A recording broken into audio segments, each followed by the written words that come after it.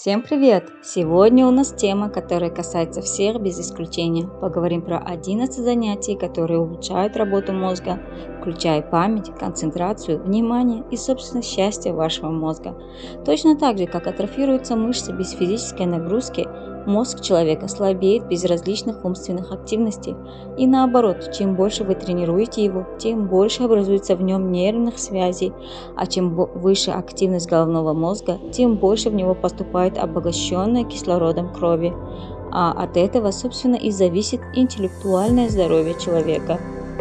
Для того, чтобы мозг функционировал эффективно, Важно специально активизировать рост нервных связей с помощью новых впечатлений.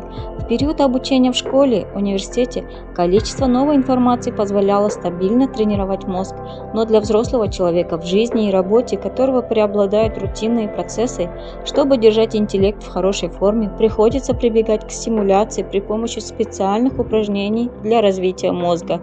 Поэтому так важно научиться решать типичные задачи нестандартными методами.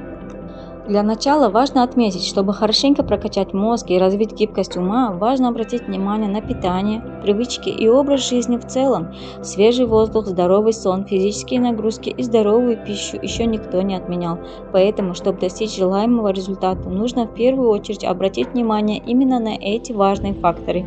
Эффективная тренировка мозга – это упражнения, которые направлены на развитие памяти, внимательности, а также отдельно правого и левого полушария мозга. Предлагаю к вашему вниманию 12 занятий, которые положительно повлияют на развитие вашего мозга. И если вы сможете применить эти навыки в жизни, то сможете поддерживать здоровье вашего мозга. Решайте головоломки, судоку, кроссворды, ребусы, пазлы, шахматы и другие игры на логику очень полезны для тренировки мозга, но при одном условии, если вы решаете их нечасто.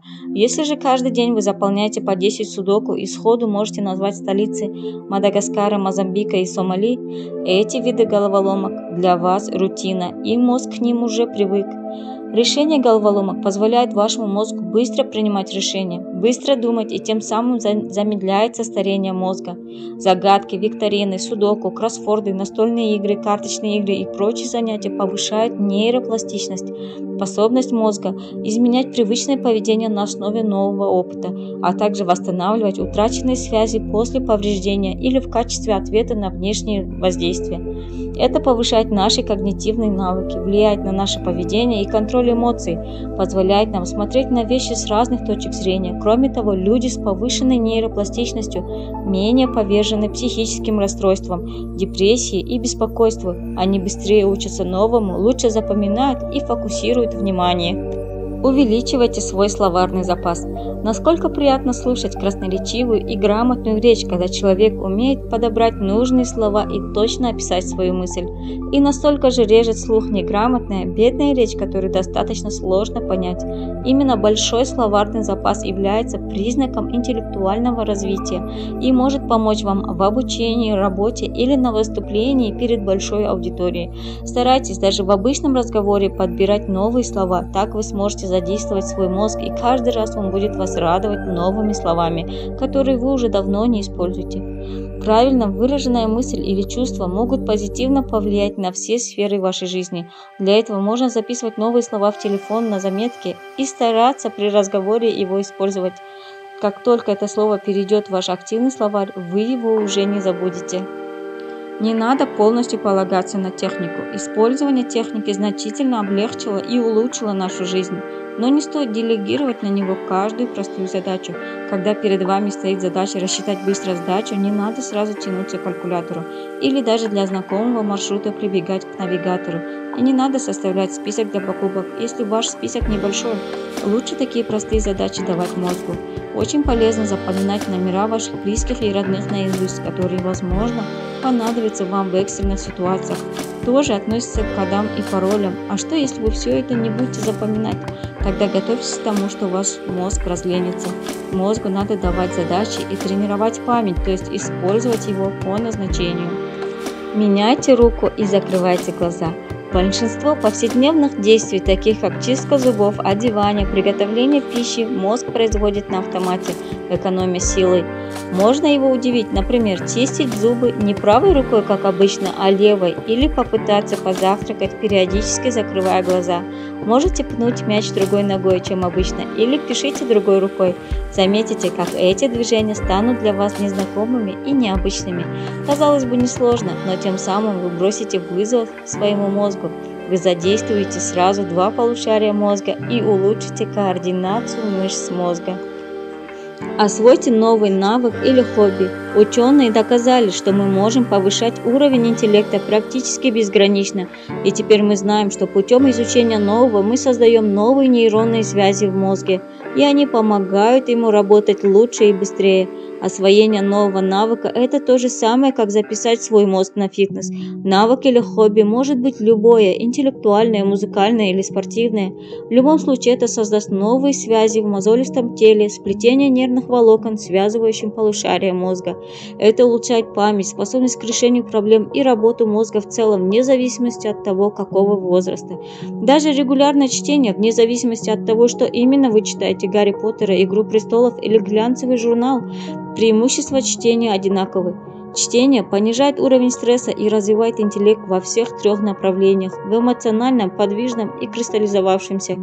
Игра на музыкальных инструментах также создает новые нейронные связи в мозгу и, как следует, может положительно повлиять на уровень IQ. Музицирование затрагивает сразу несколько систем в организме – визуальные, аудиальные, тактильные, моторные, эмоциональные и когнитивные – что позитивно влияет на весь организм человека, поэтому постарайтесь найти интересное для себя занятие и осваивайте его. Используйте другие маршруты и посещайте новые места. Один из принципов развития мозга – это его удивлять. Так как мозг – один из самых энергозатратных органов, в привычной обстановке он обычно работает на автопилоте и совсем не напрягает себя. Дом, работа, дом. Этот маршрут может оставаться неизменным годами. Итог Мозг проходит его на автопилоте, совершенно не включаясь в процесс. Попробуйте добираться до офиса разными способами и хорошенько изучить район, где живете. Гуляйте там, где еще не были. А перед поездкой в новое место заранее внимательно изучите карты и попробуйте добраться до нужной точки без подглядывания в приложение с картами и подсказок навигатора. И каждое новое место – это встряска для мозга. Он начинает анализировать ситуацию, копить данные, обостряются все органы чувств, что вызывает в человеке чувство счастья. Изучение иностранных языков. Ну сколько раз вам говорили учить иностранные языки? Исследования показывают, что люди, владеющие несколькими языками в среднем, имеют уровень IQ выше, чем те, кто пренебрег уроками английского в школе. Владея вторым языком, вы проще справляетесь с любыми задачами интеллектуального характера. Дело в том, что изучая новый язык, вы учитесь мыслить параллельно, анализируете звуки и сопоставляете значения разных слов, формируете некий собственный дуальный словарь. В процессе запоминания иностранных слов, фонетических и синтаксических правил вы стимулируете аналитические навыки. Говорение помогает встраивать ваш словарный запас в оболочку конкретных жизненных ситуаций и моделей поведения. В целом, обучение языкам задействует несколько областей вашего мозга в комплексе, и изучение нового языка подвластно в любом возрасте. Медитация. Ученые нейробиологи сходятся на том, что наш мозг невероятно пластичен и легко перестраивается для решения задач, которые мы ему предлагаем. Медитация, то есть концентрация на одном объекте или мысли, замечательно развивает участки префронтальной коры, которые отвечают за самоконтроль и самосознание, основу рационального выбора и умственной работы.